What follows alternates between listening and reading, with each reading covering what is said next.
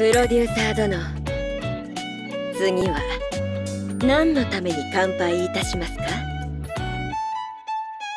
明日の快適な目覚めを祈って。それとも最後の一発が玉詰まりしませんように？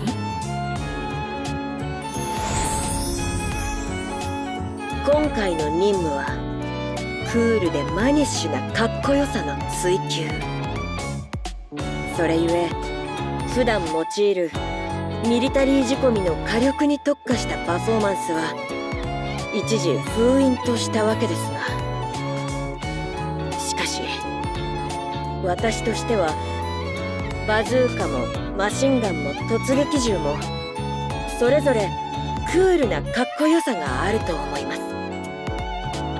たとえ戦いの道具として作られたものであったとしても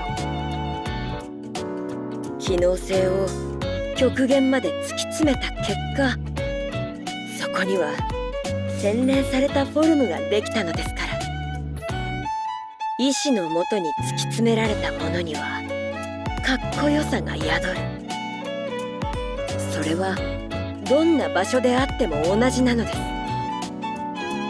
故に我々が心を合わせ試行錯誤と鍛錬を繰り返せばそれはきっとステージでの演技やパフォーマンスで求められるクールでマニッシュなかっこよさにつながると思うのです。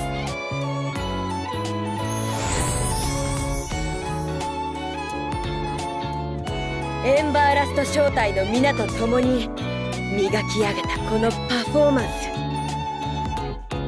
人雷風烈の早打ちで皆の心を打ち抜きます。一人として逃しませんよ。